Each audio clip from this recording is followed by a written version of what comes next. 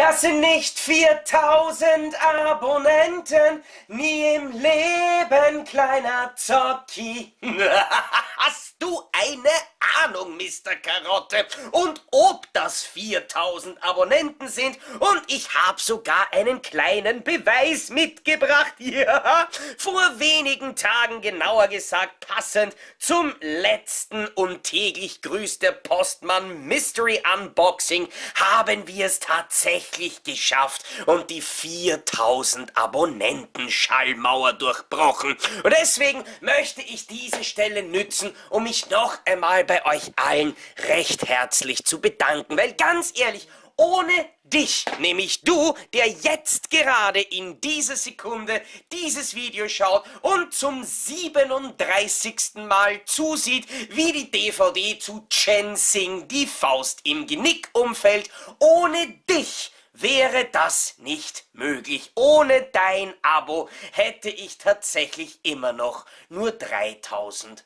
999. So lang, bis halt der nächste Mitleid hätte und sich gedacht hat, boah, den Vierer mach mal weg. Nein, ganz im Ernst, Playzocker Reviews ist jetzt seit März 2011 hier auf YouTube vertreten und es macht mir mittlerweile nicht mehr nur so viel Spaß wie am ersten Tag, sondern noch viel mehr. Und das ist tatsächlich ausschließlich euch zu verdanken. Ich bedanke mich bei allen, die äh, die Videos schauen, damit Spaß haben, die kommentieren, die die Videos teilen. Natürlich auch diejenigen, die in den letzten Wochen und Monaten den Kanal mit einer kleinen Spende, sei es über PayPal an playzocker.gmail.com, sei es über den Superchat-Button hier auf YouTube unterstützt haben. Vielen, vielen Dank. Aber ich möchte die Chance jetzt ehrlich gesagt eigentlich gar nicht nur dazu nutzen, um zu betteln. Nein, wir sind ja hier mit einer Aufgabe.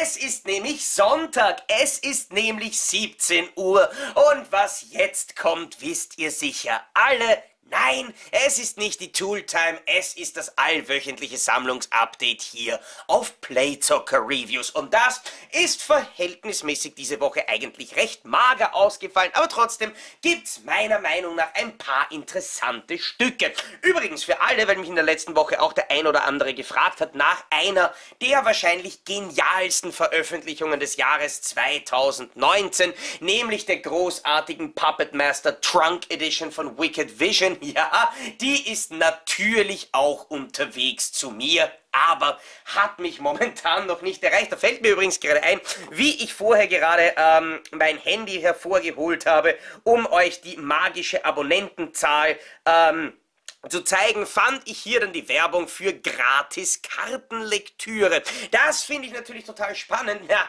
habe ich nämlich durch eine E-Mail erfahren, dass meine Trunk Edition mit DHL verschickt wurde. Das heißt, da würde ich tatsächlich gerne die Tarotkarten befragen, ob bzw. wann oder in welchem Zustand mich dieses Paket ähm, erreichen wird. Und ganz ehrlich, ich vertraue den Tarotkarten mehr als DHL. Und Tarotkarten sind fucking Bullshit. Aber egal, lassen wir das Thema. Ich lasse mich einfach eines Besseren belehren. Jedenfalls ähm, stelle ich meine Lautsprecher schon einmal wieder dezent einen Grad hinab und freue mich auf nie wieder DHL Kapitel 2. Oder wer weiß, vielleicht werde ich ja absolut positiv von einer pünktlichen und unbeschädigten Lieferung überrascht. Es würde mich jedenfalls gleichermaßen freuen wie überraschen. Ich habe euch im letzten Sammlungsupdate übrigens äh, noch ein paar Mediabooks gezeigt und habe eigentlich versprochen, zu denen so bald wie möglich äh, die entsprechenden Blu-ray-Checks zu machen, nämlich eben die beiden Kickboxer Mediabooks beziehungsweise die beiden Shootfighter Mediabooks. Ich muss tatsächlich jetzt irgendwie dazu übergehen, mir jede Woche mindestens eine fette Box zu kaufen, dann habe ich im Sammlungsupdate nicht die großen Schwierigkeiten, dass die Sachen nicht stehen bleiben wollen. Yikes. Ähm, Diese Teile habe ich selbstverständlich nicht vergessen. Es war aber tatsächlich im Laufe der vergangenen Woche nicht möglich, hier ähm, die entsprechenden Blu-ray-Checks zu machen. Deswegen kommen die gleich Anfang nächster Woche, Montag und Dienstag sind die dran. Ab Mittwoch kümmere ich mich dann um die neuen äh, Titel, die ich hier als Rezensionsmuster bekommen habe. An der Stelle einen riesigen fetten Dank wieder an WGF bzw. Mr. Banker Films, die mich hier unterstützt haben, nämlich eben einerseits mit der, muss man schon sagen, flüchtigen ähm, Asia Line Edition Nummer 22. Ich werde dieses Update jetzt etwas umbauen, weil überraschenderweise nervt mich das. Ähm, mit der Nummer 22 Chensing, die Faust im Genick. Den muss ich mir noch anschauen. Äh, ich habe es tatsächlich geschafft, obwohl ich äh, dieses Sammlungsupdate erst wenige Stunden nach dem Livestream, ich gestehe es, am Freitag jetzt tatsächlich ähm, filme, habe ich es schon geschafft, weil das Wetter war urschön. Ähm, mich irgendwo hin zu chillen und mir diese zwei Filme schon einmal recht flott anzuschauen. Firehead und Brandzeichen der Hölle. Zwei Titel, die mich eigentlich wirklich durchaus unterhalten haben. Vor allem die Uncut-Fassung von Brandzeichen ist natürlich auch was Feines, aber Firehead ist wirklich ein unglaubliches Trash-Meisterwerk schon fast. Würde, äh, freue ich mich auf jeden Fall, wenn ihr dann auch nächste Woche reinschaut äh, für die jeweiligen DVD-Checks. Bevor ich die allerdings mache, steht mir noch etwas Recherche ins Haus, was was es mit diesen Titeln so alles auf sich hat. Also auch in der nächsten Woche erwartet euch ein umfangreiches äh, Review-Paket mit den nächsten DVD- und Blu-ray-Checks dann eben hier im Überblick. Würde mich da auf jeden Fall freuen, wenn ihr wieder reinschaltet. Aber für jetzt habe ich dann etwas ganz Besonderes für euch.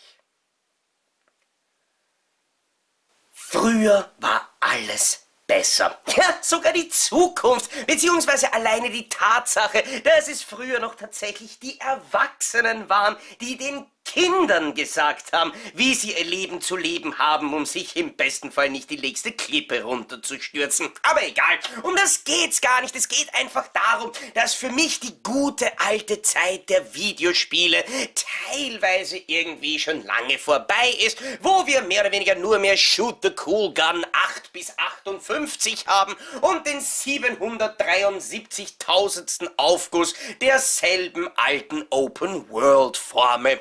Aber glücklicherweise ist im Gegensatz zur Filmindustrie bei der Spieleindustrie der Begriff Remake noch nicht verschrien. Nein, da gibt es ja tatsächlich Leute, die sich wirklich Mühe geben. Und deswegen freue ich mich tatsächlich auf meiner PlayStation 4 einige Klassiker vergangener Tage neu zu erleben. Und nein, übrigens mit Remake meine ich nicht zum Beispiel das, was Square Enix teilweise gerne macht und einfach irgendwelche lieblos aufgeputschten, hochgerechneten P äh, Pixel-Grafikverschnitte auf eine PlayStation 4 zu rotzen. Nein, ich rede schon von den Dingen, die einem Crash, einem Spyro und jetzt einem Sir Daniel Fortescue passiert sind. Ja, Spyro the Dragon war für mich das allererste Spiel, das ich wirklich ausgiebigst auf der PS1 gezockt habe als Kind, wo ich vor allem den ersten Level rauf und runter gespielt habe, bis ich ihn auswendig konnte. Lag übrigens nicht irgendwie daran, dass mir der Level per se so toll gefallen hat. Nein, meine Eltern haben nur vergessen, mir eine Memory Card für die Playstation zu kaufen und ich musste jeden Tag wieder von vorne anfangen. Als ich Medieval dann bekommen habe, wusste ich da schon etwas mehr Bescheid und konnte in dem Spiel ordnungsgemäß voranschreiten. Aber ganz im Ernst, bevor wir uns jetzt das Remake für die PlayStation 4 anschauen, habe ich euch tatsächlich noch was mitgebracht. Ja, ich habe mein altes Medieval für die PlayStation 1 noch und habe mir gedacht, ich werfe das einfach einmal in dieses Unboxing als klitzekleinen Bonus, um alleine einmal noch einmal zu demonstrieren, wie damals einerseits die Games ausgesehen haben. Werft doch einen Blick auf diese kleinen Ausschnitte, das war damals die gute Grafik, beziehungsweise eben auf diese äh, Platinum-Auflage war es damals noch, wo man auf der Disk offensichtlich vergessen hat, dass man das Wort Medieval vielleicht groß hätte schreiben sollen. Ihr wisst schon, die Zeit, wo Spiele noch mit Booklets ausgeliefert wurden. Ja gut, manche davon waren halt nur schwarz-weiß, aber sie waren da, sie waren gemacht und das Ganze hatte zumindest irgendetwas zum Blättern. Einfach, wenn man vor Frust nach dem 737.000. Bildschirmtod aufs Klo geht und sich dort verkriecht, konnte man noch einmal die Steuerung lesen mit zittrigen Fingern. Außerdem hat man ähm, damals sogar bei der Platin-Auflage, das finde ich ganz cool, ähm, einen Überblick über die Levels mit dazu bekommen, wo man mehr oder weniger den kompletten Aufbau des Spiels sieht. Und ich gehe ehrlich gesagt davon aus, dass das jetzt im Remake dann auch genau das gleiche ist. Und auf der Rückseite dann Another Time, Another Place, ein etwas ähm, äh, skurriles Poster für Medieval 2. Oh, apropos Medieval 2, da habe ich euch noch was mitgebracht als kleinen Bonus. Auch ein kurzer Blick vielleicht auf das Package von Medieval 2, das nämlich, ähm, genauer gesagt, ich glaube, ein oder zwei, zwei Jahre nach dem ersten Teil dann veröffentlicht wurde. Ebenfalls für die PS1, in meinem Fall sogar die richtige Auflage mit der richtigen Disc. Ich habe tatsächlich ganz am Anfang, als ich begonnen habe, äh, die PS, also mit den PS1 Games, habe ich noch ähm, tatsächlich total diese, diese Platinum-Auflagen gefeiert, alleine wegen, wegen diesen Discs und weil ich immer schon so ein bisschen ein Monk war, man tatsächlich, wenn man genau geschaut hat, anhand der Oberseite von der Disc sehen konnte, wie weit die CD quasi bespielt ist. Das ist, man sieht es auf dem Video nicht, ich habe es vorher ausprobiert, ungefähr eine Fingerbreite weg ähm, vom äußeren Rand beim ersten Medieval. Also ganz voll war die CD damals nicht, aber irgendwie hatten diese Auflagen für mich irgendwie äh, irgendwas. Irgendwie fand ich das toll, bis ich dann allerdings spätestens bei der äh, PlayStation 3 dazu übergegangen wurde, bin gar keine Platin-Versionen mehr zu kaufen, sondern eben nur mehr die ähm, Ausgangsversionen. Man merkt vielleicht, ähm, man hat bemerkt, dass man vielleicht seine Zocker beim zweiten Teil noch etwas mehr aufs Klo schicken wollte, damit sie hier ein bisschen mehr Text zum Auswendiglernen haben. Aber nein, es ist natürlich nicht alles das deutsche äh, Booklet, sondern es ist in mehreren Sprachen, aber trotzdem nur in drei Sprachen. Das heißt, man konnte mehr oder weniger gleichzeitig seinen Frust auf das Spiel abbauen, seinen Darm entleeren und andere europäische Sprachen lernen. Da merkt man, wie sehr den Spieleentwicklern früher noch die Bildung ihrer Zocker am Herzen lag und nicht nur die Tatsache, dass sie mit grauslich äh, zusammengestauchten Bildern irgendwie furchtbar äh, gestaltete Booklets abgeliefert haben. Nein, das ist eigentlich eine recht coole Sache, aber gar nicht der Grund, was... Ähm, dass wir uns heute hier zusammengefunden haben. Hier geht es um das PS4 Remake. Und das ist jetzt erschienen, kostet standardmäßig 29,99 und das so, wie es eigentlich üblich ist, egal ob man mehr oder weniger für sein Geld nichts bekommt und sich das Ganze im äh, PlayStation Store digital runterlädt, wo man dann ein bisschen Datenmüll runterladen und installieren darf und das dann wieder löschen kann und es bleibt einfach nichts zurück.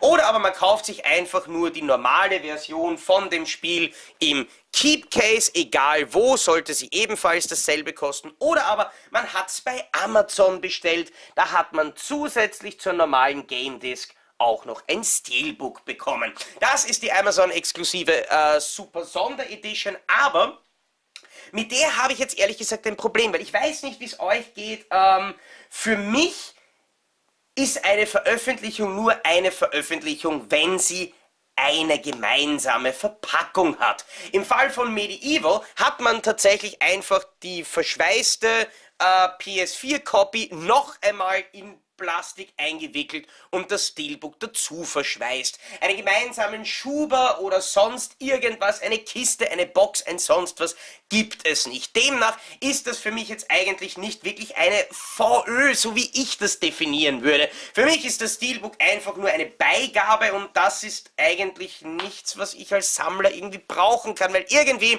sind diese Dinge für mich zu sehr getrennt. Da gibt's nichts, was sie wirklich miteinander verbindet, sobald man sie einmal ausgepackt hat. Aber da könnt ihr mir ja in die Kommentare schreiben, wie ihr dazu seht. Immerhin ist es ja mittlerweile eigentlich schon fast ein Industriestandard äh, geworden, dass man Steelbook, äh, Steelbooks einfach nur als Vorbestellerbonus irgendwo mit dazu bekommt, aber eben ohne irgendeinen Schuber, eine Box oder sonst irgendein Goodie, was das Ganze dann eben wirklich mit dem Hauptspiel verbindet. Vor allem, wenn man offensichtlich das Verschweißgerät, mit dem man diese beiden Teile dann verbunden hat, etwas zu heiß eingestellt hat und sich bei der Hülle von der PlayStation 4 Version des Spiels dann einfach hier vorne das Cover beginnt aufzubäumen. Das ist jetzt auch nicht sonderlich professionell. Naja, wir bekommen äh, das Cover Artwork hier noch einmal der schnelle Vergleich zwischen äh, dem neuen und dem alten Sir Daniel Fortescue. Man merkt ja tatsächlich alleine beim Vergleich Der Cover Artworks, dass seine Rüstung doch tatsächlich an einige, äh, einige Details dazu gewonnen hat. Sein Gesicht natürlich detailarm wie immer, aber das so gehört sich's ja auch. Und ich muss echt sagen, für mich war das einer der ersten wirklich coolen, kultigen Videospielhelden, die ich in meiner Jugend entdeckt habe. Ein wirklich cooles Cover Artwork hier auf äh, dem PS4 Keep Case, wo ich es einzig und allein schade finde, dass es natürlich äh, kein Wendecover ohne das riesige, fette, zu hoch platzierte USK-Logo gibt. Auf dem Spine geht lustigerweise sogar das Frontcover-Design weiter. Ein sehr, sehr schickes durchgehendes Motiv vom Frontcover über den Spine auf das Backcover. Passend gestaltet eben dann hier noch eine kurze Beschreibung zum Spiel mit Informationen wie beispielsweise, dass das Spiel mindestens 25 GB auf der Playstation verschlingt, also räumt schon mal ein bisschen die Platte frei. Außerdem, das Einzige, was ich tatsächlich recht cool finde, ist, sie haben zwar auf ein Booklet verzichtet, aber zumindest die Steuerung ist hier auf einen Zettel gedruckt gedruckt ähm, mit Werbung für den PlayStation Store. Ähm, aber sonst ist die Hülle halt unspektakulär. Bleibt uns nur mehr der Blick auf das Steelbook und das macht äh, auf den ersten Blick meiner Meinung nach einiges richtig, einiges falsch. Beispielsweise, warum dieser riesige, fette PS4-Slogan hier oben drauf sein muss, ist mir nämlich tatsächlich absolut schleierhaft. Weil entweder ich weiß es oder es ist mir vollkommen egal, dass Medieval exklusiv für die PS4 erscheint. Es gibt kein anderes ähm, System, wo man dieses Spiel zocken kann. Das heißt, das ist absolut unnötig, hier vor allem noch dazu in dieser Größe darauf hinzuweisen, dass es die PS4-Version ist. Niemand wird Medieval für die PS4 in irgendeinem Regal mit Medieval für den Nintendo Switch verwechseln. Wobei Warte mal, das Spiel ist aus 1998. Nein, es wird noch ein paar Jahre dauern, bis das dann auch für die Switch erscheint. Egal. Wir bekommen hier ein ähm, Steelbook, das grundsätzlich dasselbe Motiv von Daniel Fortescue bietet, wie auch ähm, das Keep Case, nur halt mit dem Unterschied, dass wir ähm, Fortescue zwar ein bisschen vergrößert und anders platziert sind, dafür allerdings die gesamte Action äh, im Background und die ganzen anderen Charaktere weitestgehend weggelassen wurden. Der Titelschriftzug ist anders platziert. Ähm, und wurde zudem hier ein bisschen nach unten geprägt. Außerdem sehen wir, dass sowohl Fortescue als auch der Grabstein, wo er seinen Fuß drauf hat, mit Partial Gloss versehen wurde. Aber was wir auch sehr deutlich sehen, wenn wir das Steelbook bewegen, dass der Druck eigentlich ein bisschen mau ausgefallen ist. Die Farben vermissen Brillanz. Das Ganze ähm, bietet jetzt nicht unbedingt einen schönen, gut ansehnlichen Metallic Flair. Ähm, sondern macht ein bisschen einen flachen und unspektakulären Eindruck. Da gefällt mir ehrlich gesagt Fortescue von allem, was uns auf dem Cover geboten wird, noch am besten. Auch hier kann man sagen, dass sich das Cover Artwork äh, über das ganze Steelbook erstreckt. Man sieht es vor allem recht schön hier bei der Wolke oder den Chemtrails, die mehr oder weniger aus äh, Daniel Fortescues Knie äh, sich fortpflanzen, wobei hier auch irgendwie recht schön auffällt, dass man hier einzelne Elemente vom Frontcover auch verwendet hat, mehr oder weniger den Hintergrund aus dem Frontcover ein bisschen erweitert, ein bisschen adaptiert auf das Backcover, macht aber einen sehr guten Eindruck, eben gerade bei diesen, bei diesen matten und, und unspektakulären Lila, finde ich, fällt diese ähm, nicht besonders brillante Farbdarstellung von dem Steelbook doch auf, aber ich möchte jetzt tatsächlich nicht einfach nur vernichten, vor allem das Grün gefällt mir dafür recht gut. Es ist jetzt im Endeffekt kein besonders spektakuläres und kein besonders großes großartiges Stil, aber hässlich ist es bei weitem auch nicht. Drinnen wartet dann noch einmal der Titelschriftzug für alle, die ein Medieval Steelbook aufmachen, ohne zu wissen, welcher Titel da drinnen ist. Aber gut, wir haben ja auch ein Steelbook, das nur für die PS4 erscheint, wo PS4 richtig fett draufstehen muss.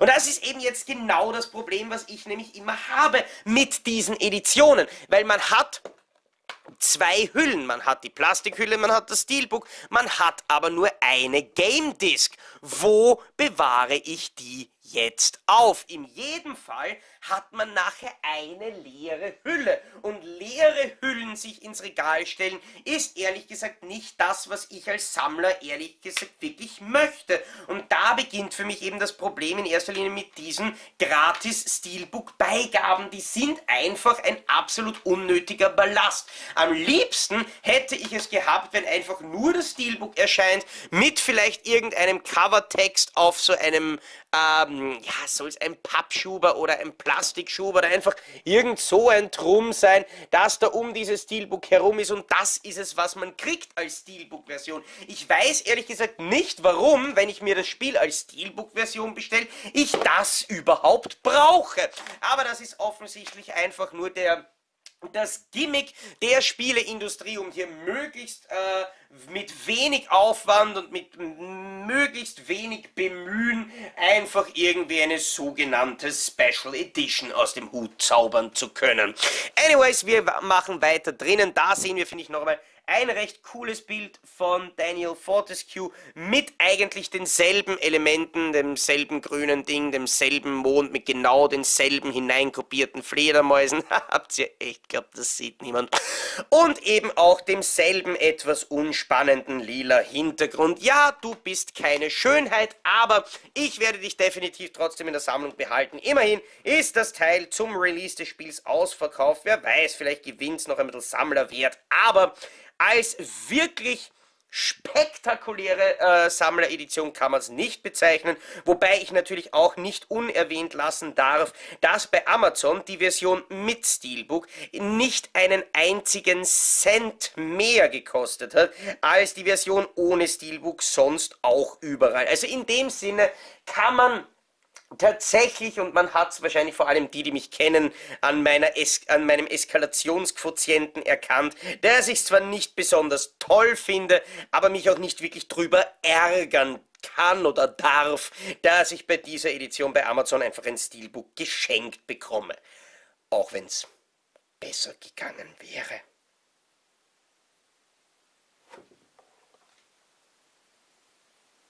Upstream Color na, na, na, na, na, na, Upstream Color. Das ist so ehrlich gesagt das Einzige, was ich irgendwie von diesem Frontcover Artwork zu The Dead Center von Arrow Video entnehmen kann. Ja, wir haben Shane Carruth in der Hauptrolle, den Creator of Primer and Upstream Color. Außerdem hat der Typ offensichtlich tatsächlich das Problem einer Frisur, die sich schon ein bisschen ins Innere seines Kopfes durchgebohrt hat und wo womöglich nach einer Teilung in bester Kommando US Navy Seals 2 Manier nicht unbedingt nur sauberes Venom-Material übrig bleibt. Aber The Dead Center ist einer der neuen aktuellen Titel, die uns von Arrow Video äh, serviert werden. Ein smarter Supernatural Thriller, der die Dämonen, die in uns allen leben, äh, ähm, erforscht vom Autor und Regisseur Billy San Senese. Ja, es fällt wahrscheinlich auf, dass ich das gerade nur vorgelesen habe, oder? Wie meistens, wenn ich hier einfach nur DVD-Hüllen auspacke oder Blu-ray-Hüllen, dann habe ich den entsprechenden Film noch nicht gesehen, gebe euch aber gerne mal schnell einen, einen Möglichkeit, die Inhaltsangabe des Titels zu lesen. Es ist ja meiner Meinung nach eigentlich in erster Linie schade, dass Arrow wieder nicht nur alte Klassiker veröffentlicht, aber trotzdem haben sie bei den neueren Titeln ähm, in der letzten Zeit von Dave Mader Maze über Ghostland bis hin zu vielen anderen Titeln eigentlich immer ein recht gutes Gespür gehabt. Vor allem finde ich dieses Artwork auch irgendwie, dieses abgerissene Papier, noch deutlich spannender und interessanter als das, was wir, sagen wir jetzt eigentlich einmal, als Hauptartwork von Arrow Video hier serviert bekommen. Immerhin ist es nicht nur auf dem Frontcover, auf der Disc und auf dem Booklet, ähm, aber wir bekommen zumindest ein alternatives Artwork, wo dann auch noch die anderen Elemente von diesem Keep Case angepasst wurden. Ein weiterer Blick in das Booklet, das gibt's äh, diesmal wieder mit etwas dünnerem Umfang, wenn wir gleich sehen. Ah nein, zumindest, also bei Arrow Video zählt ein dünn, äh, zählt ein 24-seitiges Booklet schon als dünnes Booklet. Da können sich bei uns einige Labels wirklich eine Scheibe abschneiden. Aber alleine aufgrund der Screenshots und Filmbilder in dem Film wirkt das tatsächlich echt interessant und ich glaube, ich werde mich bemühen, dieses Teil möglichst bald rotieren zu lassen. Wirkt auf jeden Fall wie ein durchaus interessanter Titel von Arrow Video.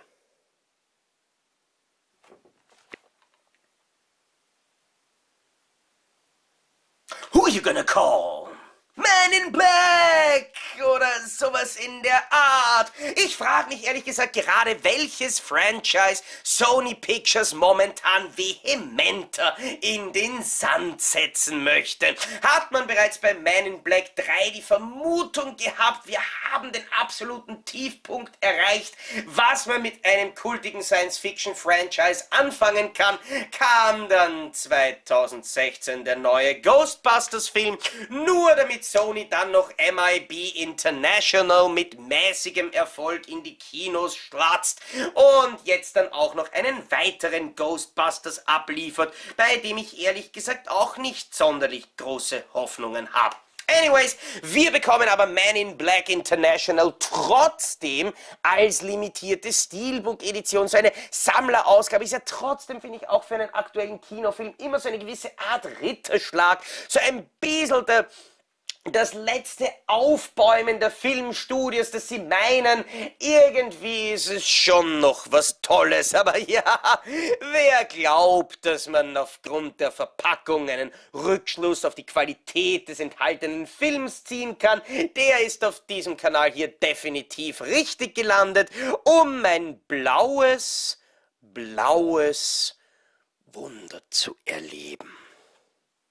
Apropos blaues Wunder, ich habe mir dieses Steelbook äh, zu MIB International vorbestellt bei Amazon, weil es meiner Meinung nach das einzige Steelbook war, das es zu MIB International gab. Immerhin war es das einzige, das Amazon zu diesem Film gelistet hat. Blöderweise habe ich erst nach dem Release des Films festgestellt, dass es bei Mediamarkt und Saturn offensichtlich auch ein exklusives Steelbook gibt, das aber nicht nur die Standard Blu-ray, sondern auch noch die 4K UHD Blu-ray enthält und das außerdem noch ein ziemlich cooles gezeichnetes popartiges Cover Artwork bietet, das meiner Meinung nach auch ziemlich schön zu der MIB 1 bis 3 Trilogy als 4K UHD Pop Art Steelbook passt. Aber Davon wusste man irgendwie nichts, weil es war in keiner offiziellen Ankündigung wirklich eine Rede davon. Und selbstverständlich, wie die meisten Mediamarkt- und Saturn-exklusiven Sachen, war das Mediamarkt Saturn Deutschland exklusiv. Und bei dem einen Saturn, wo ich in Österreich zumindest ansatzweise danach gesucht habe, war nicht einmal ansatzweise die Rede davon. Dafür diese Abscheulichkeit an Steelbook hatten sie dort. Ich werde mir das Teil jetzt einmal näher anschauen, aber bevor wir das können, müssen wir uns zuerst einmal von diesem Cover Flyer, von dieser J-Card trennen, wo wir hier oben einmal den Filmtitel und das FSK-Logo äh, bekommen. Ist ja natürlich total wichtig, dass wir den Filmtitel da auch noch einmal serviert bekommen für diejenigen, die ihn beim ersten Mal überlesen haben. Endlich sind sie wieder da. Ist ein Satz, mit dem man wahrscheinlich keinen einzigen Filmkritiker zitieren kann.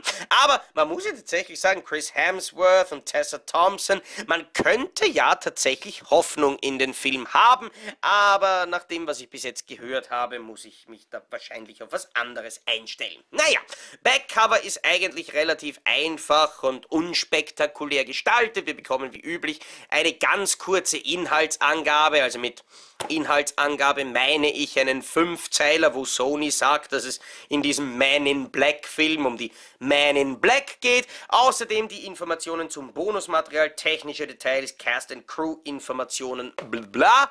Außerdem können wir ganz einfach dieses Backcoverblatt abmontieren, weil es ist hier oben und dann auch auf dem Frontcover mit seinem kleinen runden Klebesticker angebracht, der sich aber leicht entfernen lässt. Auf dem Frontcover bekommen wir Here come the man in blue. Da, da, da, da. Weil das Steelbook schimmert. Bam, bam, badu. Ja, tatsächlich, irgendwie, wenn man das Ganze so ein bisschen schimmern lässt, wirken ähm, gewisse Sachen schon ein bisschen mehr bläulich als schwarz. Aber in erster Linie hat Sony das Steelbook eigentlich gar nicht einmal so schlecht hinbekommen, muss man ihnen lassen.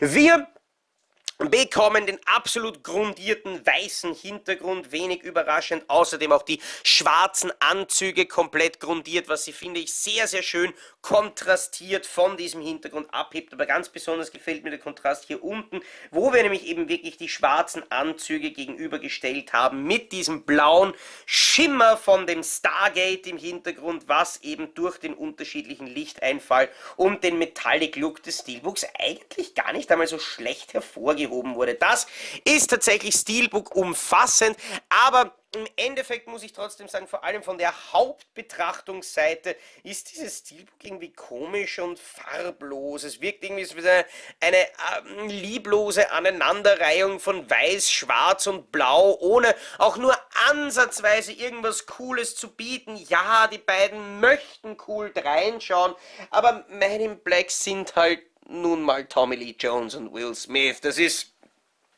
Wann war das schon eine gute Idee, die Hauptdarsteller von einem erfolgreichen Franchise zu ändern? Naja, das wäre ja fast so, wie wenn ich fürs nächste Sammlungsupdate den Drachenlord hier rein. Warte mal, die Idee klingt irgendwie lustig. Naja, ähm, wir können einen weiteren Blick werfen über den Spine, der seinen Dienst, uns den Filmtitel zu präsentieren, sehr gut erfüllt. Okay, ich mag dieses Backcover. Ich mag dieses Backcover sehr gerne. What the fuck am I looking at? Also ganz ehrlich, wir sehen den Alien aus Mars Attacks, wir sehen Octodad, wir sehen Rambomon, wir sehen natürlich den Mops im Anzug, das ist klar. Und wir sehen was auch immer dieses Samurai-Pokémon ist. Übrigens, dieses Samurai-Pokémon in eben einer gezeichneten Pop-Art-Version ist das äh, von mir bereits erwähnte Cover-Artwork vom 4K UHD-Steelbook. Was ich aber wirklich geil finde, ist zum Beispiel wie man hier bei diesem Mündungsfeuer von der Pistole diesen metallischen Steelbook-Effekt eingebaut hat oder auch eben hier unten bei diesem Energiekern oder was auch immer das sein sollte. Da könnte man, könnte man fast drüber hinweg sehen, dass sie komplett einfallslos als Hintergrund genau denselben genommen haben wie beim Frontcover. Aber so böse kann ich Ihnen irgendwie in dem Fall gar nicht sein. Es passt tatsächlich ein bisschen, aber jetzt begeistern, werdet ihr mir wahrscheinlich nicht böse sein, wenn ich jetzt auch nicht in Freudentränen ausbreche oder sowas. Drinnen die recht einfache Disk und dann aber ein ziemlich geiles Innenartwork. Das, das gefällt mir irgendwie tatsächlich. Das hat tatsächlich irgendwie Coolness. So dieses, dieses beiläufige Lehnen an der Wand mit der zirpenden Grille XXL 7000. Beziehungsweise er, der einfach nur darauf wartet, dass der Barista von Starbucks seinen Namen falsch schreibt, damit er ihm seinen pickeligen Studentenarsch mit, einer, mit einem Haufen Blei voll pumpen kann.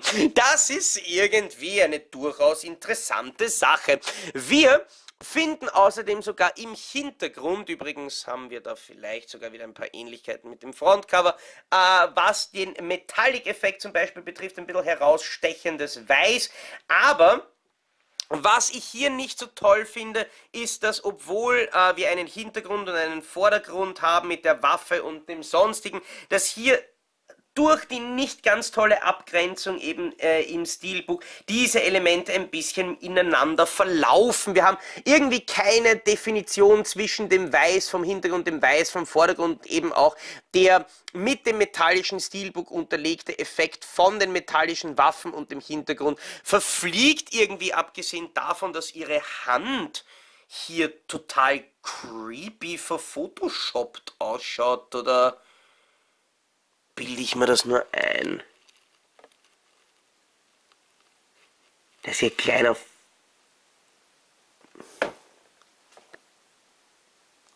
Der Daumen ist irgendwie komplett verdreht. Nein, das soll der Finger sein, dann ist der Finger zu fett. Irgendwie, ir irgendwas passt da nicht. Ihr Grafikexperten werdet mir sicher sagen können, was mich stört.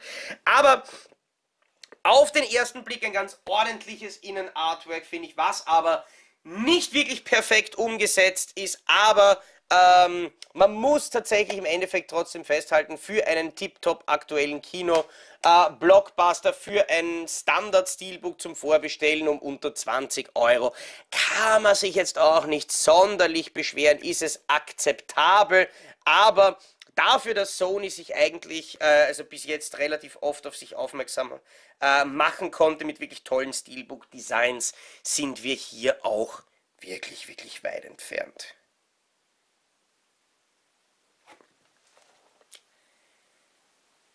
Luc Bessons Leon der Profi ist ein absoluter Klassiker und ein Meilenstein des anspruchsvollen Actionkinos. Neben den interessanten Actionszenen steht in erster Linie die Beziehung zwischen Jean Reno und Natalie Portman in mehrerlei Hinsicht, das Wortspiel war eigentlich gar nicht so geplant.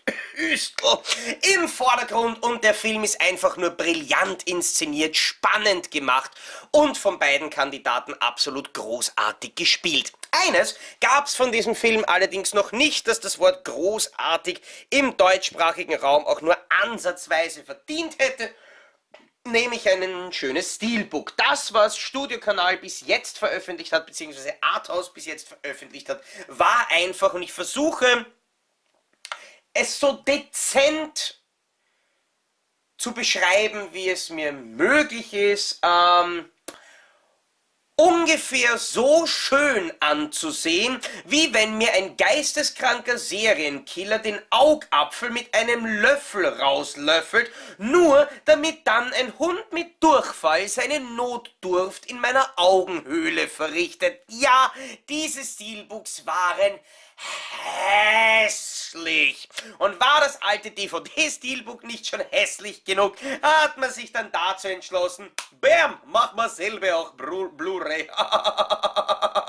Glücklicherweise hat man jetzt allerdings den glorreichen Entschluss gefasst, machen wir vielleicht die 4K-Steelbooks besser und hat dabei Studiokanal bzw. Arthouse ähm, eine, ich nenne es jetzt einmal Reihe geschaffen. Irgendwie eine Art Pop-Art-Series, wo alle diese 4K Blu-ray Steelbooks hineinpassen. Beginnend eben ähm, mit äh, Wenn die Gondeln Trauer tragen, mit Apocalypse Now, jetzt mit Leon der Profi und es sind auch schon die nächsten Titel angekündigt von Universal Soldier bis hin äh, zu Red Heat, wobei ich das Red Heat Cover absolut schrecklich finde. Keine Ahnung, was ihnen dabei eingefallen ist, aber egal. Heute geht's einmal um Leon der Profi und das ist wieder ein Steelbook, das in einem von diesen nach unten offenen ähm, so fest wollte ich es gar nicht machen. Äh, Quarterslips steckt außerdem auf dem Frontcover eben nur auf dem Quarterslip ähm, die Hinweise auf die UHD Blu-ray und auf den Filmtitel enthält, was natürlich ein geschickter Schachzug ist. Immerhin gibt es auch eine Standard Blu-ray Only Steelbook Neuauflage mit nicht der 4K-Disc, aber eben mit demselben Steelbook. Wir bekommen natürlich so wie es sein muss, den Filmtitel auf dem Spine serviert und ein handelsübliches Backcover-Motiv mit der Inhaltsangabe zum Film, mit den Informationen rund ums Bonusmaterial. Natürlich gibt es auch diesmal wieder die beiden Fassungen, den Director's Cut und die Kinofassung, die genau 23 Minuten kürzer ausgefallen ist, sowie weitere Hinweise. Aber jetzt ist es dann einmal an der Zeit, dieses Ding zu entfernen und einen Blick auf das Frontcover zu werfen, wenn ich darf. Wow. Das ist geil. Es ist richtig, richtig geil. Und das Einzige, was dieses Steelbook wirklich noch geiler macht, und das Einzige, was dieses Steelbook noch geiler machen hätte können, ist, dass man hier gut mit dem Metallic Steelbook Effekt arbeitet und alleine Natalie Portmans leuchtende, wunderschöne Augen sind etwas, was dieses Steelbook Frontcover alleine schon zu einem absoluten Genuss macht. Das ist wundervoll. Das passt einerseits, finde ich, hervorragend zum Film und zu ihrem Charakter, aber es veredelt auch dieses Stilbuch ungemein und es zeigt nämlich auch, wie sehr man sich hier in der Grafikabteilung von Arthouse Gedanken gemacht hat, weil es gibt nicht viel auf diesem Cover-Artwork, das den metallischen Stilbook-Effekt durchlässt. Wir haben Portmans Augen, wir haben hier mehr oder weniger den, den einfärbigen Hintergrund, frei nach den klassischen Pop-Art-Steelbooks und wir haben hier Leons Sonnenbrille, auch ein Element, wo das passt bei den reflektierenden Gläsern. Der Rest ist allerdings grundiert, matt und lässt keinen Steelbook-Effekt durch. Und das ist wirklich absolut perfekt durchdacht, das ist absolut großartig und wirklich, wirklich wunderschön. Auf dem Backcover hat es jemand für notwendig befunden, eine Topfpflanze zu verewigen? Ich weiß nicht. Vielleicht liegt es einfach daran, dass es schon mindestens zehn Jahre her ist, dass ich Leo der Profi das letzte Mal gesehen habe, aber an eine Topfpflanze kann ich mir jetzt nicht sonderlich erinnern. Ich kann mich auch ehrlich gesagt an keinen einzigen Fall erinnern, wo ich so ein einfaches Cover, Backcover Artwork nicht absolut lieblos, hässlich und dahingefurzt gefunden habe. Das ist wirklich gar nichts. Und vor allem, das im krassen Gegensatz. Das ist irgendwie so, wenn ich mal vorne wirklich Mühe gebe, vielleicht merkt es dann keiner. Doch, wir merken es. Drinnen wartet dann auf der einen Seite interessanterweise äh, bei Studiokanal meistens üblich nicht äh, ein, eine Seite mit beiden Discs äh, zu belegen, sondern beide Discs eben auf den verschiedenen Seiten. Hier die Blu-ray mit beiden Fassungen und auf der anderen Seite die 4K UHD Blu-ray, ebenfalls mit beiden Fassungen. Und das Innenartwork, das wieder es ist, wenn mir jetzt nicht alles täuscht, ein anderes Motiv als beim alten äh, Steelbook, aber sie machen einfach immer denselben Fehler. Warum muss das in diesem üblichen, schwachen, matten Schwarz-Weiß sein? Warum konnte nicht einfach dasselbe Bild als Innenartwork für das Steelbook genommen werden in Farbe? Oder wenn Sie es ansatzweise passend zum Film finden, dass es in schwarz ist, zumindest weiß grundiert, dass man es besser erkennen kann. Es ist jetzt wirklich nicht das Schlimmste. Ich hatte da schon deutlich wildere Kandidaten, wo man einfach gar nicht mehr erkennen hat können, was es eigentlich für ein Bild sein sollte. So arg ist es da nicht.